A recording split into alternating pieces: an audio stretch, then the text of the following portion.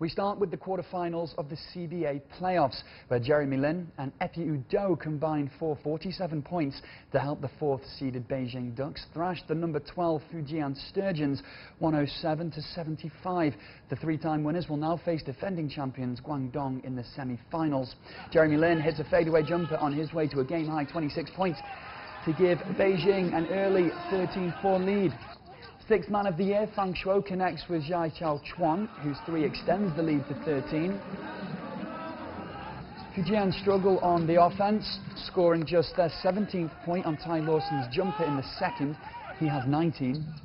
Last season's domestic MVP Wang Zhelin then finds himself struggling on defense as he commits three fouls in the space of just one minute, and coach Alexander Kazar has no choice but to bench.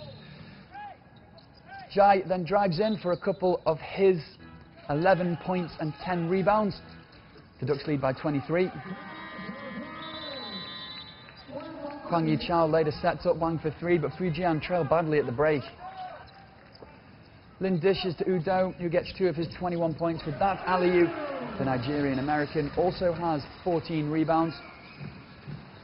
Wang gets the bank shot to finish the game with 20 points and 20 rebounds himself.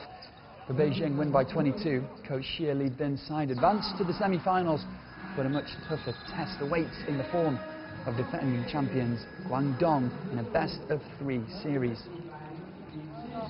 Like Coach said, I mean, we we were focused, we were locked in, and now uh, it's time to go go against Guangdong. Um, you know, we lost two two games to them in the regular season. So, you know, tomorrow we'll, we'll, we'll get ready. And it's, it's going to be a battle. It's going to be fun. It's going to be worth it. And then uh, we got to go get it.